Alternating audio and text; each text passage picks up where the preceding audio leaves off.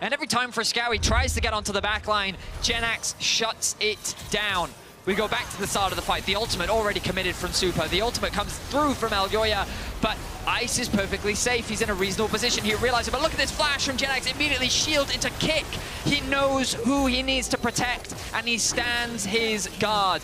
Ice remains alive, and again, even though they're at a numbers disadvantage, keep your eyes on the Ezreal here. Watch the damage that he is able to do onto Myrwn, connects the W into the Q, entire health bar gone. Then turns his attention to Elyoya. The ultimate then taking half of Supa's life.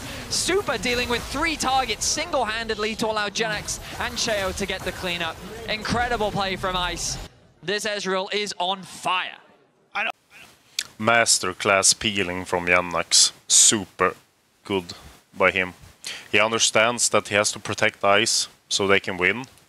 And he does that protects the most uh, fed player, the carry. Uh, it's not super complicated, but sacrificing something like your biggest cooldown, uh, the ultimate, to peel for AD carry, instead of trying to do something flashy on the champion, is super respectable.